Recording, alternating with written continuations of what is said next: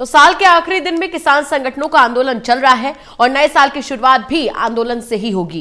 किसान संगठनों ने एक जनवरी को दिल्ली और आसपास के लोगों से अपील की है कि वो बॉर्डर पर आकर ही नया साल मनाएँ।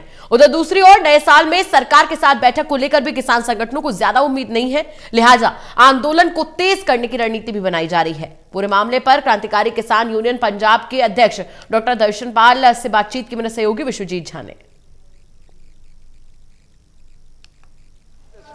साल 2020 का समापन होने जा रहा है। कल से नए साल की शुरुआत होगी। हमारे साथ डॉक्टर दर्शन पाल जी हैं, क्योंकि किसानों का आंदोलन लगातार चल ही रहा है। डॉक्टर साहब आज एक साल का समापन हो रहा है और आंदोलन लगातार चल ही रहा है। कल नए साल की शुरुआत भी होगी। आप लोगों की क्या तैयारी? देखिए, पहले तो बीस सौ बीस जो ख़त्म हो रहा है, बीस सौ इक्कीस शुरू हो रहा है। हमारी तैयारी ये है कि हमने कॉल दिया है दिल्ली और सराउंडिंग एरिया के लोगों को कि आइए, नए साल का आगाज़ जो है, हमारे साथ यहाँ लंगर छक के, चाय पी के, गाना वाना गा के कीजिए लोगों को। एक तो नए साल को खुश आमदीद भी कहना है तो ये तैयारी है पहली तो। दूसरी तैयारी ये है कि आंदोलन को एक नए जोश से, नई तैयारी से, नए से नहीं मतलब आगे से ज़्यादा जोश से चलाने का संकल्प लेना है। आज बैठक है हमारी उसमें तय करेंगे। तीसरा ये है कि आंदोलन के जो चल रहा है हमारा उस आंदोलन को, उसकी वीकनेसेस को, उसके जो जो भी है, उसको भर के नया आंदोलन को एक एक ये बोलिए कि उसकी लगातारता, उसकी शार्पनेस उसकी एक्सपेंशन करना, ये हमारे सामने नए साल में बड़ा एक कार्य रहेगा। क्योंकि हम ये सोचते हैं कि दो इशू जो हमारे बचे हुए हैं, ये बड़े इशू हैं।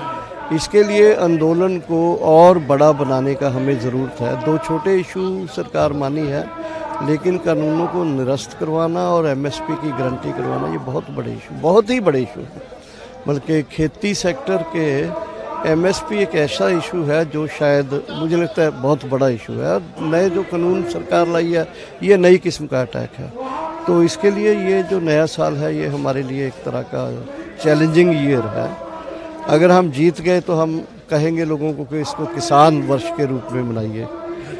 ठीक है? तो एक कॉल देंगे लोगों को चलिए। जो की बैठक आपकी होनी ही है सरकार से फिर से तो उससे पहले क्या मतलब आंदोलन और तेज होता हुआ दिख जाएगा? नहीं उससे पहले नहीं आंदोलन तो लगातार तेज है देखिए। कल भी हैदराबाद में इम्फल में रैलीज हुई है परसों पटना में हुई है। थंजावुर में तमिलनाडु में हुई है। 100 के ऊपर पक्के धरने चल रहे हैं देश में। और देश में हर जगह किसानों का कोऑर्डिनेशन बन के आंदोलन में लोग आ रहे हैं। और ये जो पाँच छह जगह यहाँ धरने लगे हुए हैं, इसमें जनता एक तरह जो बड़ी बारिश नहीं होती, उस तरह से आके गिर रहे हैं लोग। और मैं आज ही मुझे खबर दिया, पंजाब में देश के जो बड़े बड़े बुद्धिजीवी लोग हैं, उन्होंने अभी इस पहले हफ़्ते में ही बड़ा एक मार्च रखा है जो गवर्नर की तरफ़ जाएँगे। पंजाबी मुझे कोई बता रहा था स्टूडेंट्स फॉर फार्मर्स कोई ऐसा बैनर बनने जा रहा है। तो कहना मैं ये चाहता हूँ कि हर तरफ़ से किसानों के इस आंदोलन को सपोर्ट मिल रही है और किसानों का आंदोलन असल में इन कंटेंट एंड फॉर्म ये जन आंदोलन बन चुका है। और ये जन आंदोलन बन चुका है, इसका एक मैं उदाहरण ये देना चाहता हूँ। आप बस में सफ़र करो, ट्रेन में करो, घर में बैठो, ऑफ़िस में बैठो, लगता है हर जगह इसकी चर्चा हो रही है। एटलीस्ट नॉर्दर्न इंडिया की स्टेट्स में तो हो रही है, ये तो मुझे पक्का पता है साउदर्न का मैं बात नहीं कर सकता। तो ये जब चर्चा ऐसी शुरू हो जाती है, अगर आंदोलन अपनी बेसिस के ऊपर ठीक खड़ा रहता है अहिंसक रहता है और इसके नारे ठीक हैं और ये ठीक दिशा को संबंधित है तो इस तरह का आंदोलन जो होता है जिसको जन आंदोलन और जिसका आई जो हर जगह जिसकी चर्चा होती है तो लोगों को लगता है उस आंदोलन में जाके देखें। को लेकर मैं आपने बोला तो नालों को लेकर कुछ काफ़ी आपत्ति हो रही है प्रधानमंत्री को लेकर अब शब्द कहे जा रहे हैं।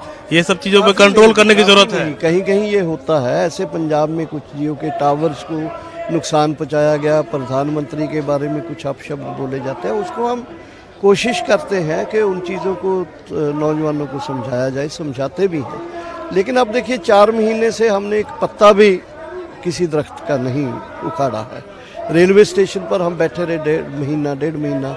रेलवे लाइन को, रेलवे बिल्डिंग को कोई नुकसान ऐसा नहीं हुआ है। तो इसलिए ये जो आंदोलन है, इसकी यही खूबी है कि ये आंदोलन बढ़ता भी गया है और इसने कुछ इस तरह का कोई मील पत्थर पॉजिटिवली तो बनाया है कुछ नेगेटिवली इस आंदोलन में एंटर करने की अगर कोशिश भी की हो किसी ने उसको स्नब कर दिया एक आखिरी सवाल पूछ रहा हूँ चार तारीख की बैठक से कितनी उम्मीद है आप लोगों को? क्योंकि चार जो मुद्दे थे उसमें अब वो कह रहे हैं कि दो तो मान लिए हालाँकि वो नीचे वाले थे ऊपर के दो मुद्दे बचे हुए हाँ। मुझे लगता है चार तारीख की मीटिंग में मेरी पर्सनल वो असेसमेंट है कि इतनी जल्दी कुछ निकलेगा नहीं।